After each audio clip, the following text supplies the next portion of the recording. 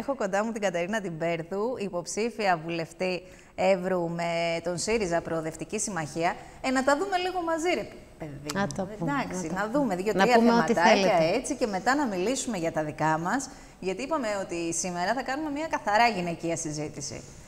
Ε, είχαμε ένα, είδαμε ένα βίντεο στα μέσα κοινωνικής δικτύωσης τις προηγούμενες ώρες της Ραλίας Χριστίδου. Ναι. Α, Και εγώ το είδα. Ναι. Με πολλά σχόλια, με πολλές αντιδράσεις, αναφέρεται στον Εύρο και στον Φράχτη. Πάμε να το δούμε, να δούμε και πώς σχολίασαν οι χρήστες των μέσων κοινωνικής δικτύωσης στο βίντεο αυτό, γιατί ε, είναι από τις λίγες φορές που τοποθετείται η κυρία Χριστίδου για θέματα έτσι εκτός ε, Αθήνας. Αθήνας. Μας έχει συνηθίσει σε άλλα μοτίβα. Πάμε να δούμε λοιπόν και ερχόμαστε να το σχολιάσουμε. Επειδή έχουν φράξει τα μέσα μας τις τελευταίες ημέρες με το ζήτημα του φράκτη στον Εύρο, ας καταλάβουμε όλοι το εξής απλό πραγματάκι. Το καθεστώς Μητσοτάκη τρέχει εναγωνίως να κλείσει δουλίτσες, υποχρεώσεις, εκκρεμότητες που έχει μέχρι την 21η του Μάη που ο ελληνικός λαός θα τους στείλει στο σπίτι του. Η φιέστα για την επέκταση του φράκτη στον Εύρο κόστησε 27.000 ευρώ που δόθηκαν με απευθείας ανάπτυξη σε εταιρεία που ιδρύθηκε μόλις πριν από ένα μήνα, το Φεβρουάριο του 2023. Βέβαια, αυτά τα 27.000 ευρώ είναι ψίχουλα μπροστά στα 99,3 εκατομμύρια, τα οποία θα δοθούν για 35 χιλιόμετρα επέκτασης του φράκτη. Και ενώ οι υπογραφές έπεσαν την ημέρα της φιέστας, ο ανέμελος πρωθυπουργός μας δήλωσε εξαιρετικά ικανοποιημένος που με την παρουσία του επισφράγισε το κλείσιμο αυτής της εκκρεμότητας. Το γεγονός δε ότι ο επιτελικός κύριος Γεραπετρίτης τυχαίνει να είναι ο γαμπρός του αντιπροέδρου της κατασκευαστικής εταιρείας που έχει αναλάβει την επέκταση του φράκτη, αυτό δεν πρόκειται να επηρεάσει τις προθέσεις τους για τη διασφάλιση της ασφάλειας των εθνικών μας συνόρων. Διασφάλιση της ασφάλειας όπως και στο σιδηρόδρομο. Κοιτάξτε να δείτε. Ο μόνος φράχτης που τους ενδιαφέρει και τους απασχολεί και τους προκαλεί πανικό είναι ο φράχτης που έχει υψώσει κοινωνική πλειοψηφία απέναντι στην αδιαφορία, στη συγκάλυψη, στη διαφθορά, στην ασυδοσία και στην επιτελική αχρηστία του καθεστώτος Μητσοτάκη έτσι όπως έχει αποδειχθεί τα τέσσερα τελευταία χρόνια. Γι' αυτό 21 του Μάη, την πρώτη Κυριακή, ο ελληνικός λαός με την ψήφο του θα τους στείλει στο σπίτι τους. Θα περίμενε κανείς βέβαια ε, αντίστοιχες θέσεις να παίρνουν οι δικοί μας, ρε παιδί μου. Δηλαδή, κατάλαβες τώρα. Μας κακοφαίνεται και λίγο εμάς τους ευρύτες όλο αυτό. Από τη μία. Που ασχολείται δηλαδή. Που, ασχολ... που, που τόσος λόγος γίνεται για ένα θέμα που είναι αμυγός, έτσι, τοπικό, που μας απασχολεί πολύ και... Εμάς μας απασχολεί πολύ. Εντάξει, βέβαια είναι ένα Δεν θέμα... είχε έρθει ποτέ, ας πούμε, η κυρία Χριστίδου στον Εύρο μια επίσκεψη; Ναι, το να καταλαβαίνω. τοποθετείτε, βέβαια, το λέω καθαρά επικοινωνιακά, σύμφωνα με αυτά που διαβάσαμε που θα δούμε τα σχόλια των Χριστών. Αλλά αυτό είναι που τους κακοφάνηκε. Είναι βέβαια και ένα θέμα που απασχολεί γενικώς. Είναι ένα θέμα που έχει πάρει πολύ μεγάλη δημοσιότητα. Εμάς μας απασχολεί πρώτα γιατί μένουμε εδώ, μένουμε στον Εύρο. Ε, το ένα ζήτημα είναι αυτό το, το ζήτημα που, που θίγει δηλαδή για το, ε, του σκανδάλου, ας το πούμε, το πού βρίσκονται τα λεφτά, από πού δίνονται τα λεφτά, ποιος έχει αναλάβει το φράχτη. Το άλλο ζήτημα όμως που έχω πει και εγώ επανειλημμένα όσον αφορά αυτό το κομμάτι, είναι ότι δεν μπορεί να αντιμετωπίζεται σαν αναπτυξιακό μέτρο. Τώρα, η αλήθεια όμως είναι ότι πήρε πολύ μεγάλη έκταση Έτσι και γι' αυτό είναι. το λόγο το σχολιάζουν και βουλευτές της Αθήνας. Έτσι είναι. Έχουμε καθόλου τα σχόλια. Να δούμε; Για να τα δούμε λίγο. Ε, Τώρα έχουν φράξει τα μέσα της βουλεύτριας του ΣΥΡΙΖΑ Ραλίας Χριστίδουας της... Εντάξει, τώρα τα σχόλια να σας πω Ναι, κάτι. ε, Εγώ δεν μπορεί τα να είναι δίνω και- και... δεν, δεν, γενικώς δεν, δεν μπορείς να δίνεις σημασία στα σχόλια, γιατί ο καθένας από την ασφάλεια του καναπέ του και ανώνυμα μπορεί να γράφει οτιδήποτε. Ναι, κυρίως στο Twitter βλέπουμε Ε, με εντάξει, μεγάλη νομίζω ανωνυμία. ότι δεν... ε, Έχεις δίκιο, έχεις δίκιο Κατερίνα σε αυτό. Ε, είχαμε και ακόμη ένα, έτσι, μια ιδιαίτερη συνέντευξη από τις λίγες, θα έλεγε κανείς, του Βαγγέλη του Βενιζέλου, ο οποίος αναφέρθηκε στο, στη βόμβα, σε εισαγωγικά, του Νίκου Ανδρουλάκη, ο οποίος τον α, πρότεινε, είπε γιατί όχι, να μην δεν έχουμε πρωθυπουργό σε μια κυβέρνηση συνεργασίας, τον, α, τον κύριο Βενιζέλο. Πώς το άκουσες αρχικά εσύ αυτό, γιατί ο κύριος Βενιζέλος τοποθετήθηκε; Ναι, ε, εγώ και προχτές στο δελτίο του κουβεντιάζαμε αυτό το συγκεκριμένο θέμα, με ρώτησε ο δημοσιογράφος σας εδώ. Ε, εμένα η θέση μου είναι ε, και προκύπτει και από την νομοθεσία και από το Σύνταγμα, ο Πρωθυπουργός πρέπει να ε, εκλέγεται από την ψήφο του λαού, από τη λαϊκή ψήφο. Τελευταία φορά που είχαμε πρωθυπουργό εκτός αυτής της λογικής, τα πράγματα δεν, δεν ήταν καλά για μας. δεν πήγε καλά. Οπότε λοιπόν το να, να είμαστε πριν τις εκλογές και να λέμε θέλουμε κυβέρνηση συνεργασίας ε, με όρους, νομίζω ότι είναι τελείως ανεπίκαιρο. Ας τελειώσουν οι εκλογές, ας έρθει 21 Μαΐου, Ας ε, το βράδυ να δούμε τελικά τι προτιμά ο ελληνικός λαός, ο οποίος έχει τοποθετηθεί και δημόσια και λέει ότι είναι, είναι υπέρ των κυβερνητικών συνεργασιών. Ο ΣΥΡΙΖΑ στοχεύει να κυβερνήσει με, στο πλαίσιο μιας δημοκρατικής συνεργασίας και μετά ε, να δούμε τι συζήτηση θα ανοίξει πάνω σε αυτό το πλαίσιο. Τώρα το να κουβεντιάζουμε επειδή ο κύριος Ανδρουλάκης δήλωσε, έχει πει και για τον κύριο Μητσοτάκη το ίδιο πράγμα. Δηλαδή, να μην βάζουμε όμως τα πρόσωπα πριν από τις πολιτικές. Λέει ότι δεν θέλει κυβέρνηση συνεργασίας με τον κύριο Μητσοτάκη. Ε, εκτός όμως από τον κύριο Μητσοτάκη, θα πρέπει να τον ενοχλούν οι πολιτικές της Νέας Δημοκρατίας. Με αυτές είναι που θα έπρεπε να διαφωνεί. Οπότε, εγώ βλέπω την όλη συζήτηση με το ποιος θα είναι πρωθυπουργός ε, εκτός τόπου και χρόνου. Το λιγότερο που μπορώ να πω, πρωθυπουργός θα είναι αυτός που θα είναι πρώτο κόμμα. Πάμε να δούμε όμως τι σχολίασε ο κύριος Βενιζέλος, μιλώντας στην Νίκη Λιμπεράκη χθες το βράδυ, γιατί φάνηκε ενοχλημένος η αλήθεια είναι με όλα αυτά. Εδώ έφτασε ε, μία μικρή εταιρεία δημοσκοπήσεων κάνοντας ε, τη μεγαλύτερη μεθοδολογική και δεοντολογική γελιότητα να υποβάλει την ερώτηση εάν το εκλογικό σώμα θέλει πρωθυπουργό εμένα. Είμαι εγώ υποψήφιος πρωθυπουργός. Όχι, είστε ένα όνομα όμως που έχει ακουστεί. Διεκδικώ την ψήφο του ελληνικού λαού. Είστε ένα... Μα τώρα δεν μιλάμε για άνθρωπο που διεκδικεί την Πρωθυπουργία. Η πρόταση ήθελα, Ανδρουλάκη ε, δεν αναφέρει κυρία, άνθρωπο κυρία που διεκδικεί την Πρωθυπουργία. Αν ήθελα εγώ να διεκδικήσω την Πρωθυπουργία, θα έθετα σε κίνδυνο την πορεία της χώρας όταν η χώρα ήταν με το ένα πόδι στο λάκκο και με το άλλο στον κρεμό.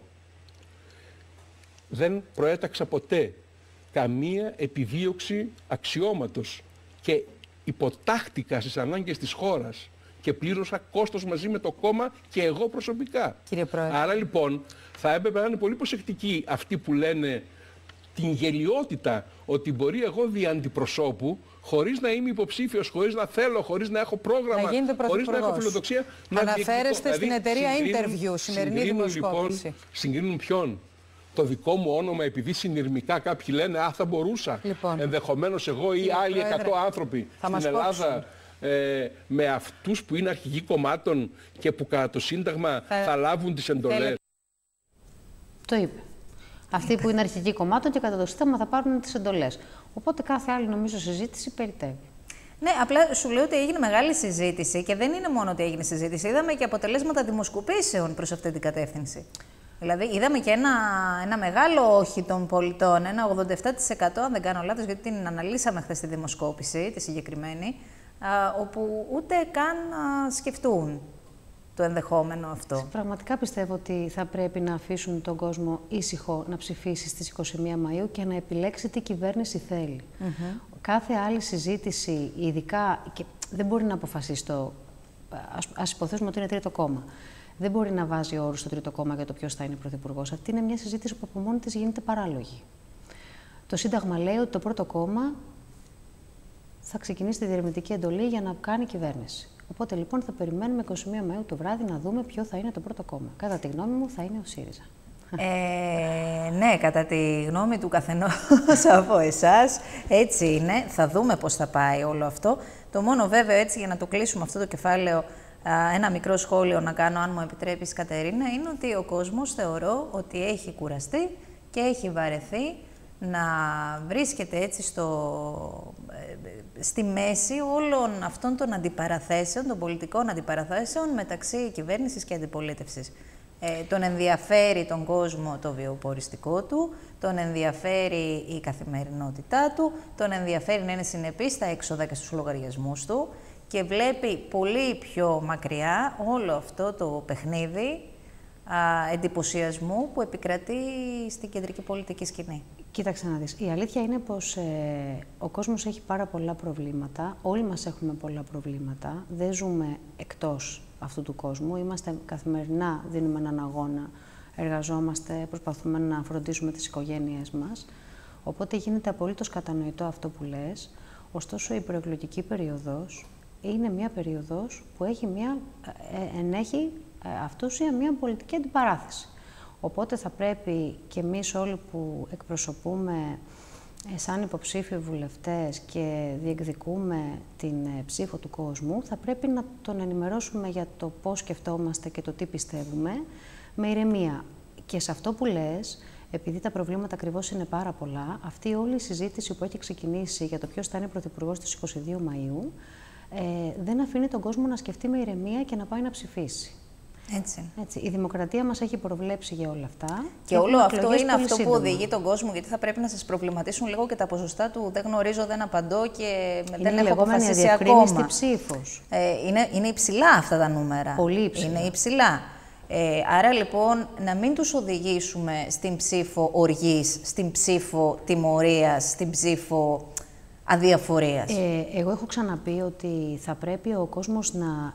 Για μένα το διακύβευμα αυτών των εκλογών, το έχω πει πολλές φορές, είναι ακριβώς ε, τι κυβέρνηση θέλουμε, τι κυβέρνηση θα επιλέξουμε την επόμενη μέρα. Θα επιλέξουμε μια κυβέρνηση προοδευτική, η οποία ε, είναι εναντίον των κυβερνητικών, των, της σημερινής κυβέρνησης πολιτικών, ιδιωτικοποίησης, ε, νερού, ε, ρεύματος και πάει λέγοντας, ε, υγεία, παιδεία, νόμος πλεύρη και το καθεξής και αυτή η κυβέρνηση μπορεί την επόμενη μέρα να λύσει τα προβλήματα.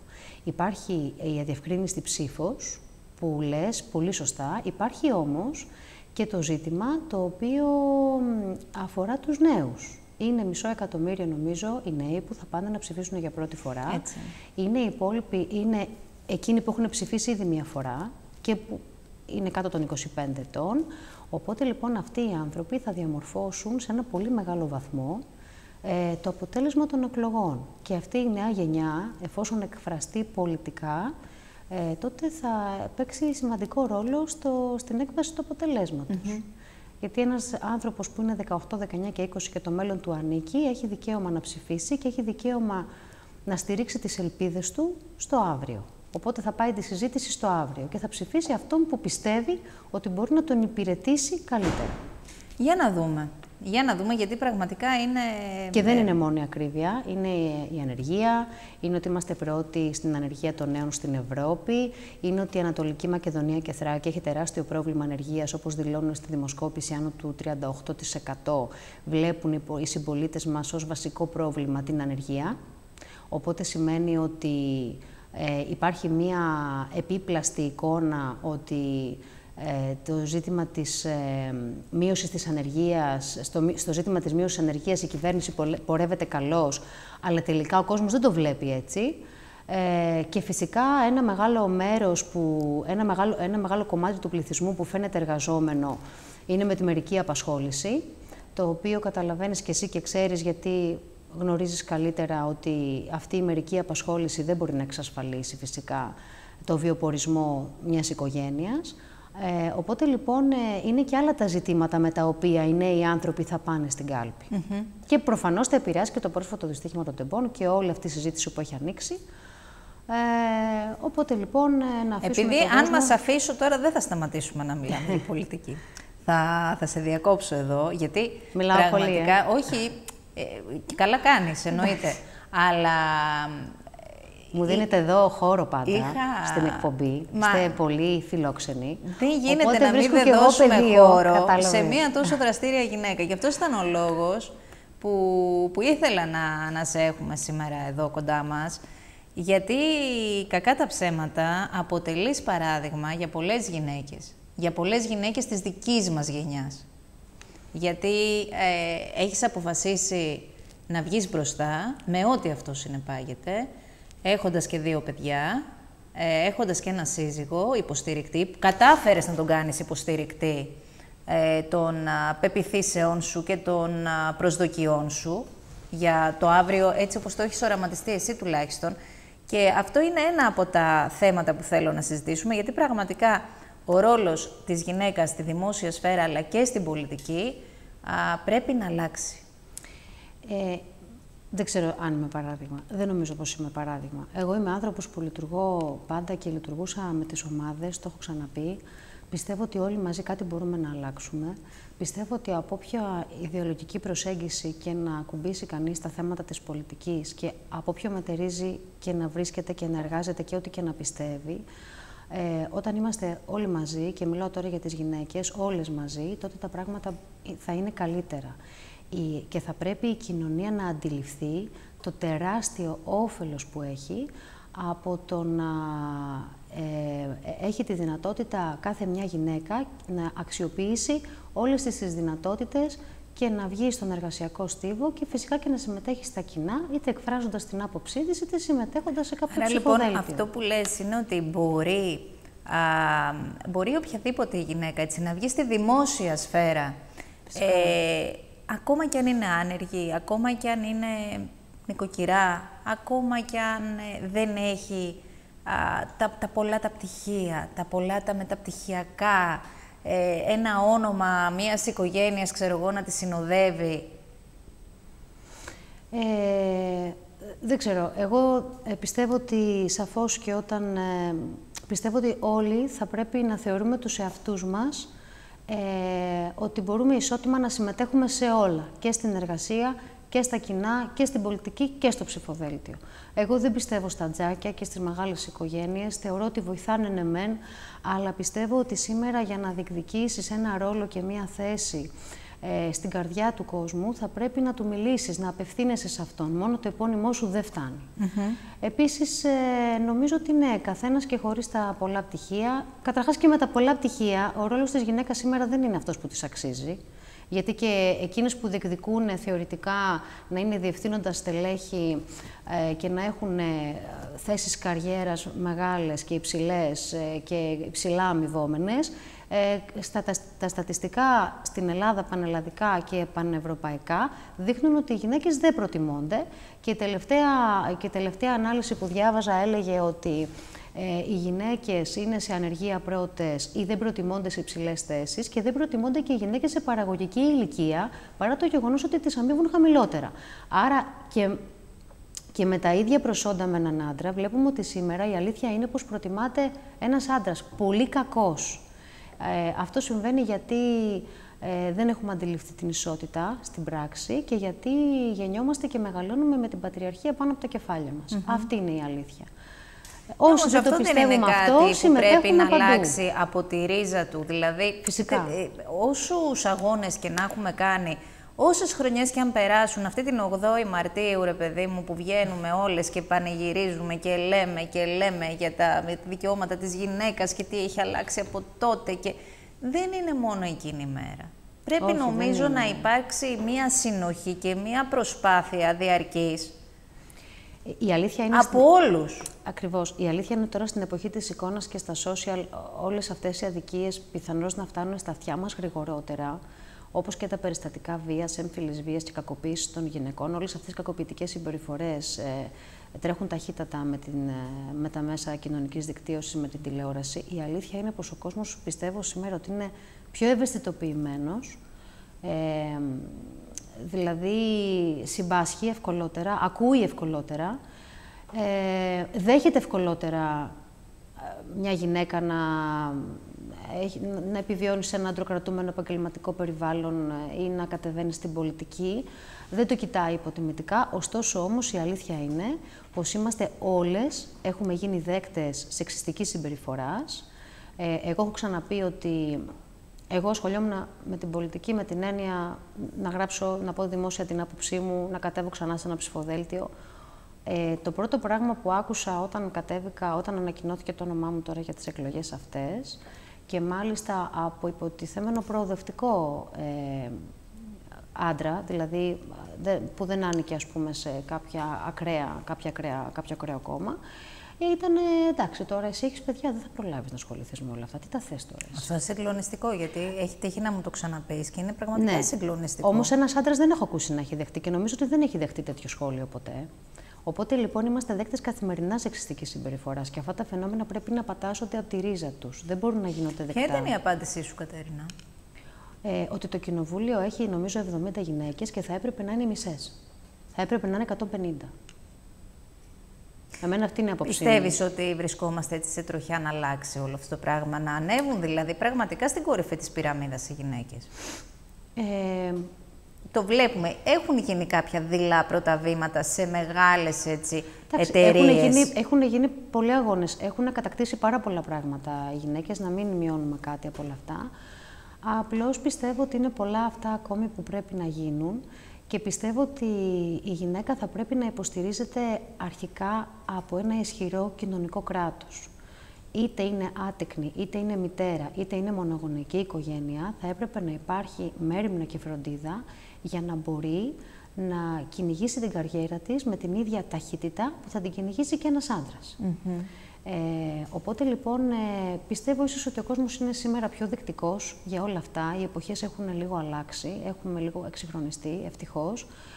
Αλλά είναι πολλά ακόμη αυτά που πρέπει να γίνουν. Ναι, αλλά όλα αυτά δεν πρέπει, ξαναλέω, να ξεκινήσουν από το σπίτι ακόμα. Δηλαδή, μεγαλώνουμε, έχεις και εσύ κορίτσι, έχω και εγώ κορίτσι. Βλέπουν δύο μαμάδες οι οποίες ε, δουλεύουν αρκετά. Ναι. Δεν θα πρέπει να ενισχύσουμε, να το ενισχύσουμε όλο αυτό περισσότερο ή μήπως τελικά θα, θα καταλήξουμε στα κορίτσια τα απρόσιτα, δηλαδή στις κοπέλες, στις νεαρές κοπέλες οι οποίες θα τελειώσουν το πανεπιστήμιο και θα είναι αυτές που θα, είναι, θα βλέπουν αποκλειστικά και μόνο την καριέρα τους και τίποτα άλλο. Δηλαδή κάπου λίγο, Κοίταξε, επειδή καλούμαστε να... Ναι, να... Δεν, δεν ξέρω. Ε, εγώ ε, τυχαίνει, ας πούμε, σπίτι να έχω και αγόρι και κορίτσι. Ε, προσπαθώ να τα μεγαλώνω με τον ίδιο τρόπο. Πιστεύω ότι σήμερα η γυναίκα είναι δέκτης στερεοτυπικής συμπεριφοράς και όχι οι άντρες. Εκτός αν οι άντρες είναι λίγο διαφορετικοί από τους υπόλοιπους, γιατί και εκεί τότε υπάρχει ε, σεξισμός και στερεοτυπική συμπεριφορά. Αυτή είναι η πραγματικότητα και πρέπει να τη δεχτούμε. ε, όχι να τη δεχτούμε, να την αποδεχτούμε, να τη δούμε, έτσι, να δούμε το πρόβλημα. Ε, δεν ξέρω. Εγώ δεν πιστεύω. Εμένα με, με, με, στενεύει αυτή η αντίληψη ότι πρέπει είτε να κάνεις το ένα, είτε να κάνεις το άλλο, είτε να κάνεις παιδιά, είτε να δουλέψεις, είτε να κάνεις καριέρα, είτε να μείνεις στο σπίτι, είτε να έχεις παιδιά πρέπει Κοίταξε, να κάνεις. Κοίταξε τώρα, ε, μεταξύ γυναικών ειλικρίνεια, δεν μπορείς να τα κάνεις όλα τέλεια ή θα κάνεις τέλεια, θα, θα, δεν θα ξέρω, είσαι δεν νομίζω, καλή στη δουλειά δεν σου, αλλά κανείς δεν θα, θα έχεις προλάβει να μαγειρέψεις. Εντάξει, ναι, η αλήθεια είναι πως χρειάζεσαι βοήθεια για όλα αυτά. Αυτό είναι ένα άλλο κομμάτι. Ε, οπότε, εγώ νομίζω ότι εκεί έχω μια προνομιακή, ε, ας πούμε, συνθήκη σε σχέση με άλλους ανθρώπους, γιατί έχω οικογένεια κοντά και βοηθάει. Δεν θα πρέπει όμως να βοηθάνε οι οικογένειες. Θα έπρεπε το κράτος να μεριμνά. Θα έπρεπε να δικαιούμαστε στα, στα άδεια. Κράτη. Ναι, θα πρέπει να δικαιούμαστε άδεια μητρότητας, να μπορούμε να μεγαλώσουμε τα παιδιά μας. Θα έπρεπε κατευθείαν να δικαιούται να μπει σε παιδικό στα δυόμιση, οπότε να μην μπαίνει σε διαδικασία να χρειάζεσαι μια γιαγιά ή έναν παππού ή δύο γιαγιάδες για να μεγαλώσουν τα παιδιά.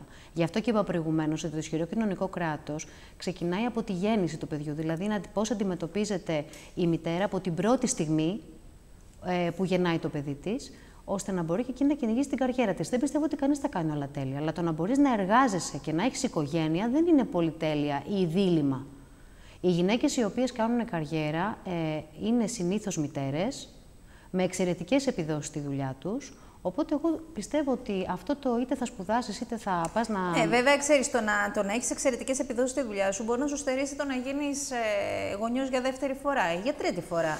Δηλαδή να μπεις στη διαδικασία ναι. να το ξανασκεφτείς. Ανάλογα το που μεγαλώνεις το παιδί σου. Στη Σκανδιναβία δεν νομίζω να το σκέφτονται έτσι. Mm Εμείς εδώ ναι. Αλήθεια είναι, φυσικά. Έτσι είναι. Έχουμε να πούμε πολλά, όμως θα πάμε σε ένα σύντομο διαφημιστικό διάλειμμα, γιατί δεν σταματάνε οι γυναικείες συζητήσεις και ερχόμαστε σε πολύ λίγο.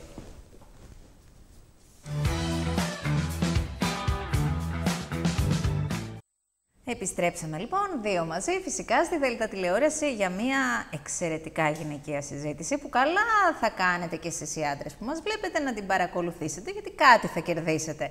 Κοντά μας έχουμε λοιπόν την Κατερίνα Μπέρδου, υποψήφια βουλευτή Εύρου με τον ΣΥΡΙΖΑ Προοδευτική Συμμαχία. Νομίζω ότι καλά ξεκινήσαμε. Μπήκαμε λίγο έτσι στα πιο εσωτερικά των γυναικών.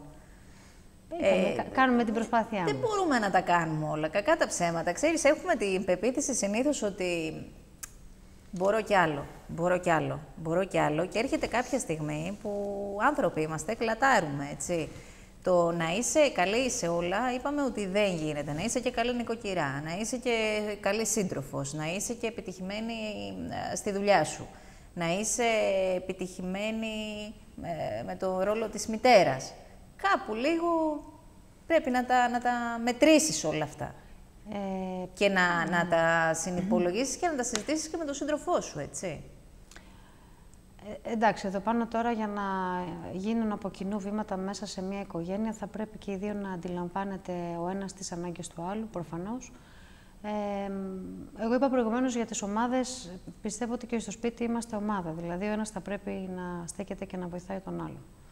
Δεν μπορεί να, να βγεις έξω και να, να διεκδικήσεις. Είναι πολύ δύσκολη η συνθήκη της εργασίας ε, στον πραγματικό κόσμο είναι πολύ απαιτητικά, είναι πολύ, απαιτητικά, πολύ απαιτητικές οι, οι ανάγκες ε, είτε είσαι γυναίκα είτε είσαι άντρας. Ναι, βέβαια. Ε, εντάξει.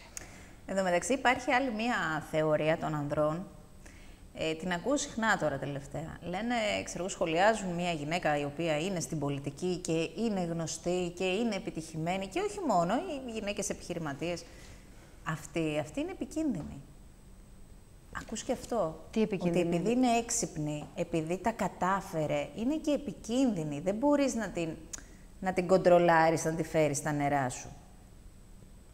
Το έχεις ακούσει ποτέ; Όχι, δεν το έχω ακούσει. Αλλά τώρα δεν ξέρω. Σαν σχόλιο δηλαδή τι σημαίνει ότι α, άμα είναι κανείς, ε, μόνο στις γυναίκες συμβαίνει αυτό, άμα είναι κανείς άντρας δηλαδή και έξυπνος ε, μπαίνει πιο εύκολα σε κάποιο καλούπι; Δεν, το έχω ακούσει, όχι, δεν το ξέρω. Ναι, και ξέρεις, συνήθως είναι και επικρατεί ακόμα αυτή η δυσκολία των ανδρών του να, το, να θαυμάσουν μια επιτυχημένη ναι, γυναίκα υπάρχει, εξ ολοκλήρου. δηλαδή να έχουν μια σύντροφο ή μια φίλη που να μην την ζηλέψουν έστω και ασυνείδητα. Θεωρείται πιο ε, φυσιολογικό, γι' αυτό μίλησα και προηγουμένως για πατριαρχικό πρότυπο, θεωρείται πιο φυσιολογικό ένας άντρας να κατακτά το, το, το κομμάτι της επαγγελματικής σταδιοδρομίας ε, στον, είτε στον ιδιωτικό είτε οπουδήποτε αλλού τομέα και πιο ε, εικόνα πιο, ε, πώς να, πιο συνηθισμένη και είναι πιο συνηθισμένη να ασχολείται ένας άντρας με την πολιτική. Είναι στα πλαίσια της στερεοτυπικής συμπεριφοράς, η οποία δεν θα πρέπει να γίνεται αποδεκτή. Ζούμε στο 2023 τι προσδοκίες έχεις για την πολιτική, όχι σε προσωπικό επίπεδο, περιμένεις τουλάχιστον σε αυτές τις εκλογές, αλλά και στην τοπική αυτοδιοίκηση, γιατί πλησιάζουν και οι εκλογές της τοπικής αυτοδιοίκησης, να δούμε περισσότερα γυναικεία πρόσωπα, τουλάχιστον να μπουν μπροστά, θα το να τολμήσουν. Θα το ήλπιζα. Ε, πιστεύω ότι οι γυναίκες έχουν συνειδητοποιήσει σε πολύ μεγάλο βαθμό ότι ε, η, γυναικεία παρουσία στην πολιτική δεν ανήκει στη σφαίρα του ανέφικτου. ε, οπότε λοιπόν πιστεύω ότι όσο περισσότερες γυναίκες κατεβαίνουν υποψήφιες, αυτό λειτουργεί πολλαπλασιαστικά γιατί αποδέχεσαι την εικόνα και αποδέχεσαι και το ζήτημα της ισότητας στη συμμετοχή στην πολιτική. Άρα λοιπόν θα το ήθελα αυτό πραγματικά. Πιστεύω ότι σε ένα πολύ μεγάλο βαθμό γίνεται. Έχουμε πολλές γυναίκες και στην πόλη μας και στο νομό μας και γενικότερα που ασχολούνται με τα κοινά και έχουν καταγράψει σημαντικές επιτυχίες ε, θα πρέπει να αντιμετωπίσετε ισότιμα. Εγώ δεν λέω ότι θα πρέπει να, προτιμώνται, να προτιμάται κανείς για το φίλο του, προς Θεού. Λέω ότι θα πρέπει να δούμε την ισότητα ε, σαν πρόσταγμα πια. Ότι έχει το δικαίωμα εξίσου μια γυναίκα να συμμετέχει σε ένα ψηφοδέλτιο. Το, η ζήλια που επικρατεί μεταξύ των, δύο, το, μεταξύ των γυναικών δουλεύει ανταγωνιστικά ή δουλεύει αντίστροφα; Γιατί το, το βλέπουμε κι αυτό. Βλέπουμε δηλαδή δύο επιτυχημένες γυναίκες στην ίδια εταιρεία να είναι, ξέρω εγώ, στη διοίκηση της εταιρείας και να... Δεν υπάρχει αυτή η αλληλοβοήθεια, δεν υπάρχει αυτό το... Βλέπουμε περισσότερο ανταγωνισμό. Εντάξει, σε υψηλές θέσεις μιας εταιρείας όπου υπάρχει ο ανταγωνισμός... Στην πολιτική αντίστοιχα. Ναι, τώρα εγώ για την πολιτική δεν το ξέρω, γιατί δουλεύω 14 χρόνια, δεν έχω διατελέσει ποτέ σε θέσεις ε, εξουσίας.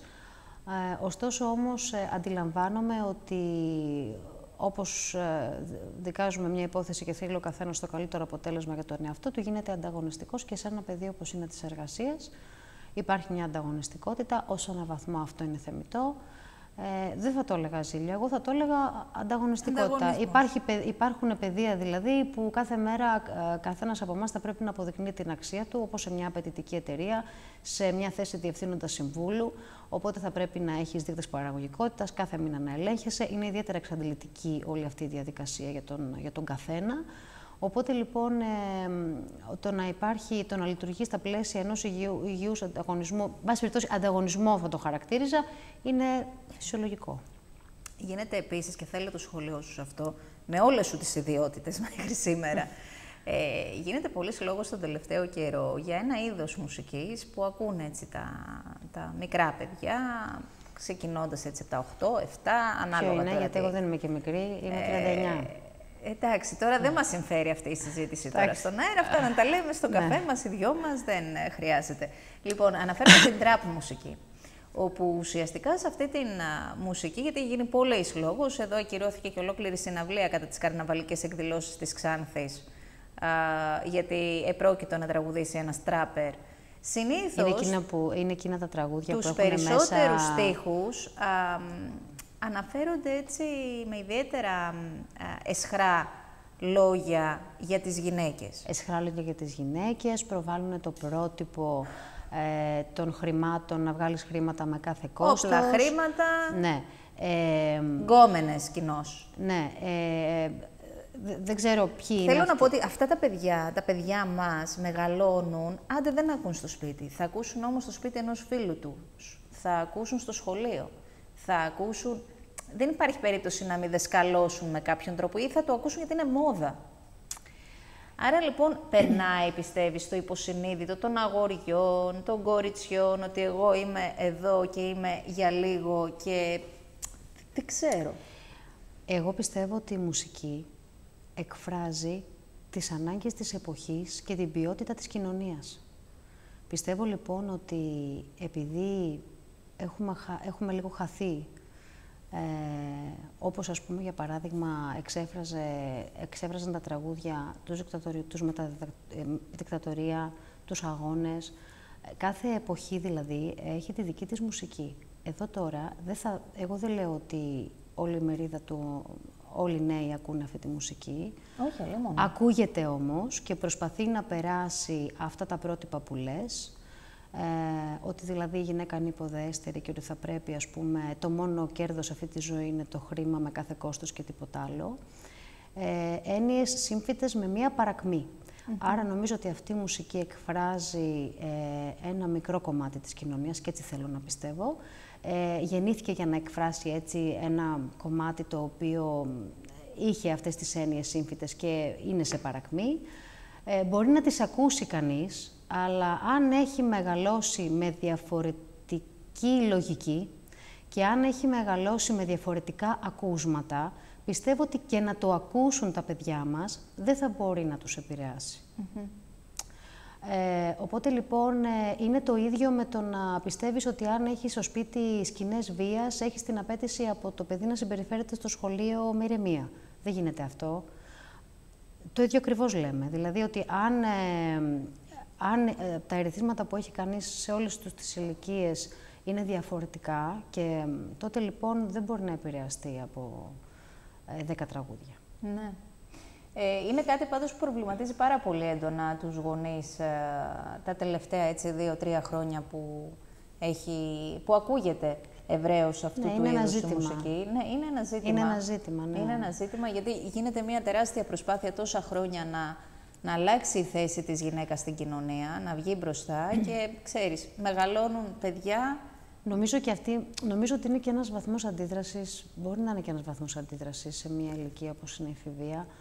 Ε, εγώ πιστεύω ότι έχει ποιότητα το ανθρώπινο δυναμικό και οι επόμενες γενιές. Δεν, δεν πιστεύω ότι. Μπορεί, μπορεί ως ένα βαθμό να ακούγεται να είναι μόδα, να... δεν νομίζω ότι επηρεάζει όμως. Πιστεύω ναι. ότι υπάρχει δηλαδή ελπίδα. Εγώ αυτό πιστεύω. Πιστεύω ότι οι επόμενες γενιές και οι νεαρότερες γενιές, μάλλον, όχι οι επόμενες, ε, που συμμετέχουν, που αντιδρούν, ε, τους ενδιαφέρει και τους νοιάζει να έχουν ελπίδα και προοπτική για το αύριο. Δεν πιστεύω δηλαδή ότι ακούνε και επηρεάζονται από όλα αυτά. Επίσης, πραγματικά νομίζω ότι μετά τα 18 Ε, τα νέα τα παιδιά σκέφτονται πολύ πιο προοδευτικά από τη δική μας τη γενιά. Και εμείς δεν είμαστε, δεν θεωρούμαστε και μεγάλοι. Δεν θα πάω στους, σε, σε ηλικίες 70, 70 Θα πω όμως ότι σήμερα η νέα γενιά πραγματικά ε, σκέφτεται χωρίς στερεοτυπικές συμπεριφορές, σκέφτεται για την ισότητα των, ε, των δύο φύλων, είναι κατά της βίας, αλλαγή, είναι κατά που, της βίας, νοιάζεται για την κλιματική αλλαγή, νοιάζεται για το νερό που ήταν και νέοι. Οι περισσότεροι ήταν νέοι προχτές. Οπότε λοιπόν δεν, δεν νομίζω ότι... Νομίζω ότι αδικεί να πούμε ε, τους νέους ανθρώπους ότι ακούνε και επηρεάζονται. Όμως αυτή η μουσική γεννήθηκε για να εκφράσει κάτι σάπιο, προφανώς. Δεν νομίζω ότι έχει αντίκτυπο μεγάλο στο, στα νέα τα παιδιά. Ακούνε, αλλά δεν πιστεύω ότι επηρεάζονται. Θα εξαφορμήσει έτσι μιας ε, κουβέντας που είπες λίγο νωρίτερα, ότι αναφερόμενη στο ότι αν μεγαλώνει ένα παιδί με βία στο σπίτι, είναι παράλογο να ζητάμε και να αποζητούμε να είναι ήρεμο στο σχολείο ή οπουδήποτε. Ε, ακούσαμε κάτι τραγικό. Τώρα θα πάμε στην άλλη στην ιδιότητα, αυτή της α, δικηγόρου και όχι μόνο, και της γυναίκας, έτσι. Ε, πριν από λίγες μέρες ολοκληρώθηκε η δίκη για την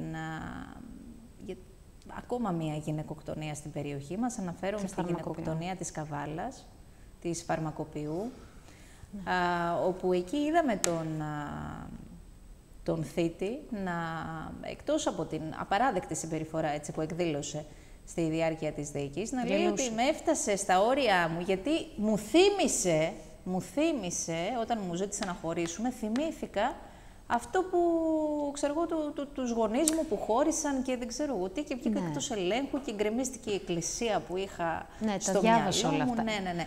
Ε, πού πάμε; Θα ξεκινήσω να πω το εξής, ε, ότι είμαστε δέκτες πρωτοφανούς βίας αριθμητικά, ε, αριθμητικά περιστατικών σε βάρος των γυναικών.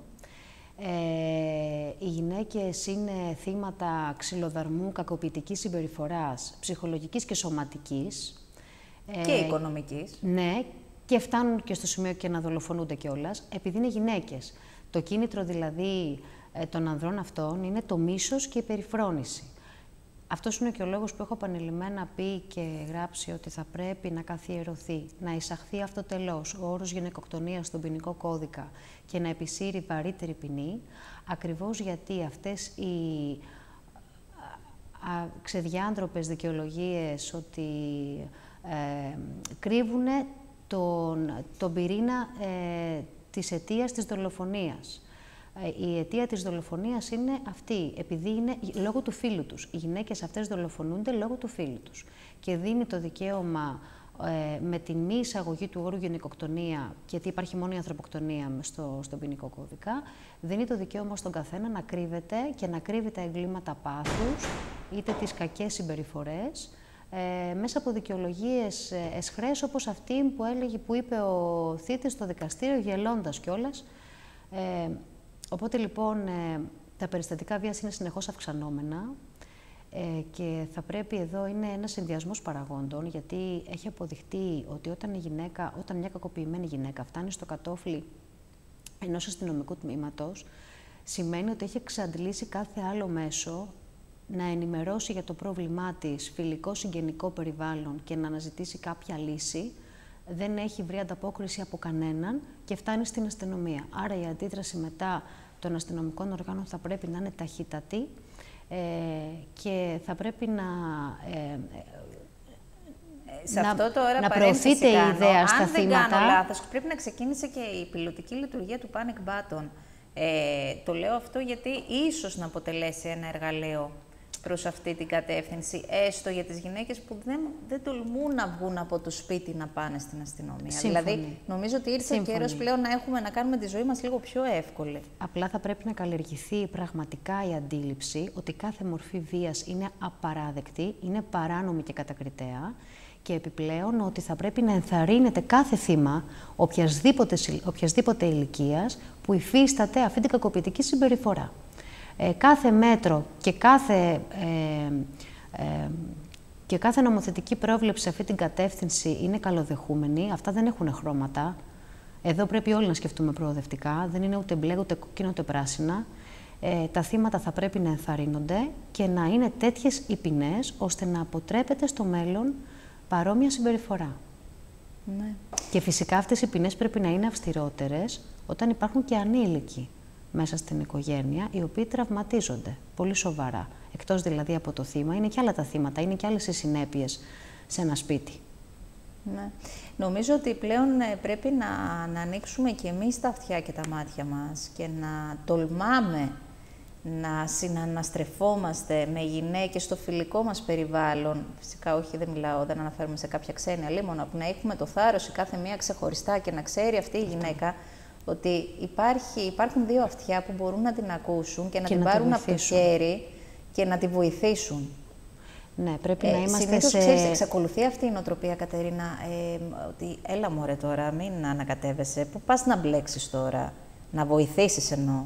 Ισχύει. Ε, παρά Είτε το... ακούς, και ειδικά και, σε, εγώ... και σε μικρότερα μέρη πιθανώς να ισχύει περισσότερο. Ε, εγώ λέω ότι θα πρέπει να υπάρχει μεγάλη ενθάρρυνση. Ε, Όπως έγινε και με το κίνημα MeToo. Τώρα μην ε, έπρεπε να βγουν ε, μπροστά κάποιες γυναίκες επώνυμες, να μην τραπούνε, να τα πούνε. Αντίστοιχα θεωρώ ότι το ίδιο πρέπει να γίνει και προς αυτή την κατεύθυνση. Και πάλι είχαν πει τότε στην αρχή ότι γιατί, ε, γιατί να το πεις τώρα και γιατί να το θίξεις τώρα. Και ναι, γιατί... Πού το θυμήθηκες δέκα χρόνια μετά; Γιατί τώρα το άκουσες. Γι' αυτό. Και οποτεδήποτε και να καταγγέλλεται ένα περιστατικό βίας, θα πρέπει να ενθαρρύνεται αυτός που το καταγγέλει, γιατί είναι εξαιρετικά δύσκολο. Ιδιαίτερα σε μικρές κοινωνίες, δεν είναι μια απλή διαδικασία. Θα πρέπει όλοι λοιπόν όσοι δέχονται κακοποιητική συμπεριφορά ή γνωρίζουν ότι ο γείτονάς τους δέχεται κακοποιητική συμπεριφορά να αντιδρούν. Γενικώς θα πρέπει να είμαστε σε αφύπνιση. Ε, θα πρέπει... Στις μικρές κοινωνίες ξέρεις τι γίνεται. Ακούς ένα ζευγάρι να μαλώνει πολύ έντονα και αν μπορείς να, να δεις και από την κλειδαρότρυπα θα το κάνεις. Δεν παίρνεις θέση, δεν παίρνεις το 100. Το έχουμε δει δηλαδή. Ναι, έτσι είναι. Είναι αλήθεια αυτό που λες. Ε, πρέπει όμως να λειτουργούμε σαν σύνολο. Ε, θα πρέπει να σκεφτούμε ότι αυτό που είναι στην πόρτα μπορεί να έρθει και σε εμάς, μπορεί να έρθει και στα παιδιά μας. Αυτές οι συμπεριφορές θα πρέπει να πατάσσονται. Από την αρχή. Από την αρχή, σαφώς. Από την αρχή. Γιατί, και άφοβα κιόλας. Δεν είναι ντροπή. Αυτός που θα πρέπει να ντρέπεται είναι αυτός που ε, συμπεριφέρεται κακοποιητικά σε έναν άνθρωπο, όχι αυτός που δέχεται Κοίταξε, κακή συμπεριφορά. Είναι ένα σύνολο τώρα ε, ψυχολογικών ενδεχομένων διεργασιών στην κάθε μία από εμά να αποδεχθεί καταρχήν ότι δεν κάνει λάθος κάπου για να δεχθεί αυτή τη συμπεριφορά. Ακριβώς. Γιατί ε, ναι, δεν είναι και λίγες οι γυναίκες οι οποίες θεωρούν και πιστεύουν αυτά που τους λένε οι θύτες. Και θα πρέπει να γίνει και κατανοητό ότι κανείς και να κάνει κάποιο λάθος δεν μπορεί να είναι αυτή η ανταπόδοση, έτσι. Είπαμε, κάθε μορφή βίας είναι απολύτως κατακριτέα. Έτσι είναι. Υπάρχουν πάρα πάρα πολλά περιστατικά βίας και πάρα πολλά από αυτά δεν τα ξέρουμε. Ένα γιατί άλλο δεν, θέμα δεν έχει γίνει μήνυση. που θα ήθελα έτσι να μας το, να μας το πεις και εσύ, είναι, ε, ε, ξέρεις, έχει γίνει μεγάλη, γίνεται μια τεράστια προσπάθεια από τους γονείς της Ελένης στο Παλούδι της κοπέλας από τον ναι, ναι. Δημότυχο που χάθηκε και αυτή έφυγε τόσο άδικα α, πριν από λίγα χρόνια στη Ρόδο. Ε, γίνεται λοιπόν, έχουν ενωθεί οι γονείς όλοι, οι οποίοι έχουν χάσει τα κορίτσια τους με τόσο βάναυσο τρόπο. Πανελλαδικά ή εδώ στο... Πανελλαδικά, ναι. Με, με της Γαριφαλιάς, ε, διάφορες άλλες έτσι, κοπέλες που έχουν φύγει από τη ζωή εξαιτίας ενός άνδρα. ε, έχουν ταλαιπωρηθεί πάρα πολύ στα δικαστήρια, γιατί, ξέρεις, παίρνουν αναβολές, γίνονται εφέσεις, ε, έρχονται αντιμέτωποι αυτοί οι γονείς με τους δολοφόνους των παιδιών τους, που είναι πολύ επώδυνη η διαδικασία από μόνη της. Ε, και καλούνται λοιπόν, ε, ξέρεις, έχουν αγανακτήσει με την έννοια πια ότι ζούμε στο διδημότυχο. Εμείς πρέπει να κατεβαίνουμε στην Αθήνα για τα δικαστήρια και να ξοδεύουμε, για παράδειγμα, μία περιουσία στα εισιτήρια, στις βενζίνες, ε, στη διαμονή για να πάρουμε αναβολές. Και τις παίρνουμε τις αναβολές. Και πρέπει να πληρώσουμε για να γίνουν τα δικαστήρια, όχι στο δικηγόρο. Ναι. Ε, και όλο αυτό τους έχει εξοργήσει όλους. Δηλαδή περιμένουν να δούνε κάτι να αρχίσει να αλλάζει και προς αυτή την κατεύθυνση. Αυτό που με, με πόνο ψυχής, ας πούμε, αυτό καταθέτουν οι άνθρωποι. Έχουν στείλει και επιστολή σε όλους τους αρχηγούς των κομμάτων. Δεν έχουν πάρει, δεν έχουν κάποια ανταπόκριση μέχρι στιγμής. Αυτό έχει γίνει το καλοκαίρι που μας πέρασε, τον Ιούλιο, νομίζω τον Αύγουστο. Με επιφύλαξη αναφέρομαι στο μήνα. Τα ίδια είπαν και στον Κυριάκο Μητσοτάκη τώρα που ήρθε προχθές και τους επισκέφθηκε. Ε, νομίζω ότι ήρθε η ώρα να αλλάξει όλο αυτό. Υπάρχει μια, δυστυχώς, μια μεγάλη καθυστέρηση σε πολλές υποθέσεις και ειδικά σε τέτοιες πονεμένες υποθέσεις, ε, όπου οι οικογένειες, ναι, αλήθεια είναι, δαπανούν πάρα πολύ μεγάλα ποσά χρηματικά για να ζητήσουν το δίκιο τους. Ε, το θέμα είναι ότι τελικά, τουλάχιστον στο, στο ζήτημα της δικαιοσύνης και του δικαστηρίου, γιατί το δίκαιο σου ποτέ δεν μπορεί να το βρεις σε μια τέτοια συνθήκη τραγική, ε, αλλά, εν πάση περιπτώσει, οι αποφάσεις, ε, νομίζω, κατά τεράστια πλειοψηφία, δεν έχω στο μυαλό μου κάτι ανάποδο ή αντίθετο τώρα, δικαιώνουν τη μνήμη των θυμάτων. Ε, ωστόσο, είναι μια συνθήκη που την αντιμετωπίζουμε καθημερινά ε, είτε εδώ είτε σε άλλες πόλεις. Υπάρχουν πολύ μεγάλες καθυστερήσεις. Υπάρχουν απροσδόκητοι παράγοντες των καθυστερήσεων. Βλέπετε προεκλογική περίοδος ή αποχή δικηγόρων είτε είτε είτε. Ή 15 Αύγουστος. Ναι, ε, η αλήθεια είναι πως συμβαίνει αυτό. Ε, θα έπρεπε να υπάρχει μια μέρημνα, τουλάχιστον για τις υποθέσεις οι οποίες, ε, δηλαδή να μην αναβάλλονται... Γενικώς δεν δίνονται τόσο εύκολο. Πρόληψη, αλλά δεν είναι και η πρόληψη, είναι ναι. και η αντιμετώπιση μετά. Δηλαδή ναι. να, να καλυτερεύσουμε συνολικά Γενικώς δεν, δεν υπάρχουν ατελείωτες αναβολές. Η δυνατότητα να ζητήσεις ατελείωτες αναβολές είναι πολύ εξαιρετικές οι συνθήκες, τουλάχιστον εδώ σε εμάς, εγώ που έχω τη δικιά μου την εμπειρία, που μπορείς να ζητήσεις μία έως και δύο αναβολές. Συνήθως δεν σου δίνουν παραπάνω. Αλλά όταν μιλάμε για άλλη πόλη και ειδικά για την Ευελπίδων, μιλάμε για την υπέρτατη ταλαιπωρία και μια τραγική συνθήκη να πηγαίνω έρχεσαι, ναι, φυσικά έχουν δίκιο. Κατερίνα μου, ολοκληρώνοντας έτσι σήμερα αυτή την ε, εγώ τη χαρακτηρίζω γυναικεία συζήτηση, γιατί εντάξει, μας αρέσει να μιλάμε για τις γυναίκες, να αγαπάμε τις γυναίκες, να, να φροντίζουμε ε, ώστε να, να έχουν έτσι ένα καλύτερο μέλλον, ένα διαφορετικό τρόπο σκέψης ενδεχομένως. Ποιο είναι το μήνυμα που θα έστελνες; Ε, εγώ τώρα επειδή κουβεντιάσαμε για πολλά, αλλά το βασικό μας κομμάτι ήταν το ζήτημα της ισότητας, ε, θα κλείσω λέγοντας ότι εξορισμού η διάκριση με βάση το φύλλο είναι εντελώς αντιπαραγωγική και ανώφελη για τα αποτελέσματα που μπορεί να έχει μια κοινωνία από την πραγματική ισότητα όλων και τη συμμετοχική τους δράση στην, σε όλες τις εκφάνσεις της κοινωνικής ζωής, στην εργασία και ακόμη και στη συμμετοχή στην πολιτική. Ε, και θα κλείσω λέγοντας ότι η ισότητα θα πρέπει να δούμε την ισότητα ως ηθικό πρόσταγμα. Πολύ σημαντικό. Να σε ευχαριστήσω θερμά. Και εγώ ευχαριστώ. Θα έχουμε την ευκαιρία να τα ξαναπούμε εννοείται. Λοιπόν, κυρίες και κύριοι, εγώ σας αποχαιρετώ για σήμερα. Ανανεώνουμε το ραντεβού μας για αύριο το πρωί στον στους FM στους 102,3 και στους 103,3. Και φυσικά έχουμε μπροστά μας όλη αυτή την εβδομάδα να δούμε τα πάντα. Γεια σας, καλό απόγευμα.